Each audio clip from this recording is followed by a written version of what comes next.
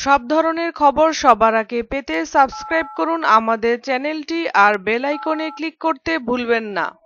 খেজুর মুসলমানদের কাছে অতি প্রিয় ও পবিত্র একটি ফল। মহানবী হজরত মোহাম্মদ সাল্লাল্লাহু আলাইহি ওয়াসাল্লাম খেজুর খুবই পছন্দ করতেন। সৌদি আরবের সর্বত্রই খেজুর গাছ দেখতে পাওয়া যায়। অনুকূল আবহাওয়ার কারণে মধ্যপ্রাচ্যের প্রায় সবগুলো দেশে প্রচুর খেজুর উৎপাদন হয়। তবে বিশ্বের সবচেয়ে বড় খেজুর বাগানটির অবস্থান কিন্তু সৌদি আরবে।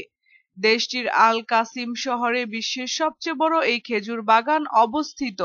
বাগানটির মালিক সালেহ বিন আব্দুল আজিজ রাজেহি। তার নামানুসারে খেজুর বাগানটির নামও রাখা হয়েছে রাজেহি বাগান।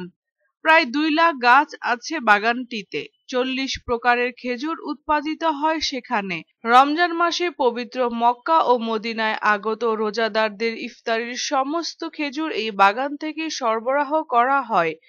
যদি আমাদের ভিডিওটি আপনাদের ভালো লেগে থাকে, তাহলে অবশ্যই লাইক করার অনুরোধ রইল। ধন্যবাদ।